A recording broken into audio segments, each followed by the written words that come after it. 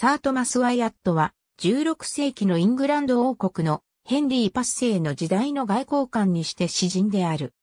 同盟の息子、トマス・ワイアットは、メアリー一世の知性に反乱を起こし、処刑された。トマス・ワイアットは、ヘンリー七世の時代の宮廷人であり、枢密院の一員であったヘンリー・ワイアットを父とし、アンスキナーを母として生まれた。父は、ヘンリー・パッセイの知性になっても宮廷に泊まり、トマスは、ケンブリッジ大学で学んだ後、父の後を追って宮廷に来た。トマスは180センチメートル以上の長身であり、ハンサムで眼見な肉体をしていた。詩人であるだけではなく外交官でもあった。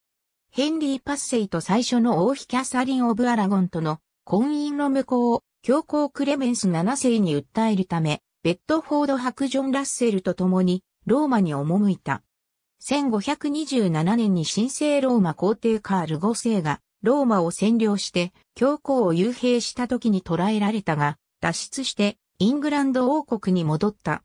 1535年にナイトに除せられた。ソネットを英語で初めて書き、ペトラルカのソネットを英語に訳した。ルキウス・アンナエウス・セネカ及びホラテウスに習うほか、新しい歌の形式を実験した。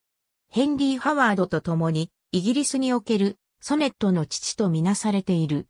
やがて、ヘンリー・パッセイの王妃となるアンブーリンと、1520年代前半に知り合い、恋愛関係にあったという説がある。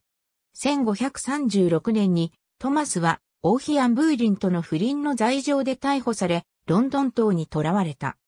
アンブーリンと同じく不倫の罪で囚われた5人の男が処刑された。後、トマスは友人のトマス・クロムウェルの尽力によって釈放された。1541年には再び反逆罪で逮捕されるも釈放され、1542年に病死した。ありがとうございます。